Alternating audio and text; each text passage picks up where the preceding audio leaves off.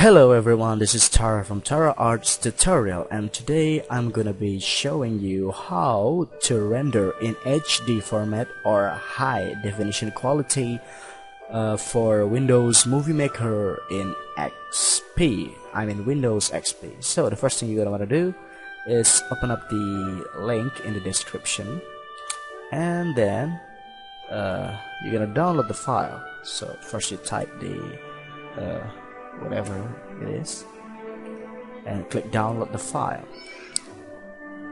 And you should uh, wait to 45 seconds. But if you have a, an account you just gonna wait 25 seconds. And after that it will appear regular download and click that to download. But I am not going to do that because I already have the file. So this is my channel. And uh, if you already have a file it will it will looks like uh, this. You have to have WinRAR and right click and extract the files. It should appear like this. So open up and it will show you the uh, plugins. So where to put these plugins? First thing you're gonna do you're gonna click start my computer local disk C program files and search for the uh, where's it? Movie movie maker? Shared then profiles.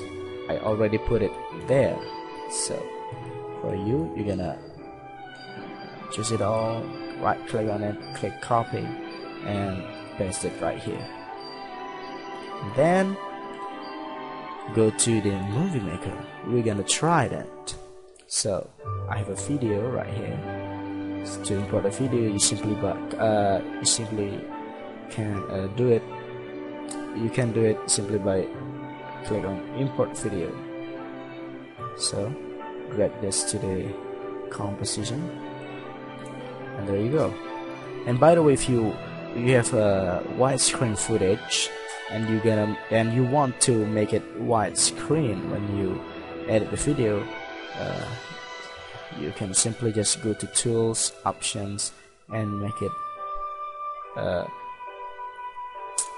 16 to 9 if you if you make this 4 to 3 it will looks like this. Okay so that's not looks so good. Alright so we're gonna test it. Save to my computer name your video whatever you to name it. And this browse you can save it to anywhere you want. And click next and this is it. It's the HD and for the YouTube it's actually the HD format. But you can make it more uh, bigger uh, and more high quality than this HD is. This.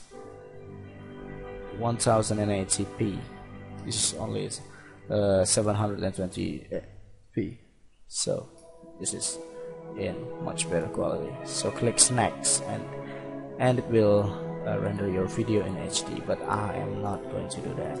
I just want to show you. So that's it. Guys thank you for watching and please subscribe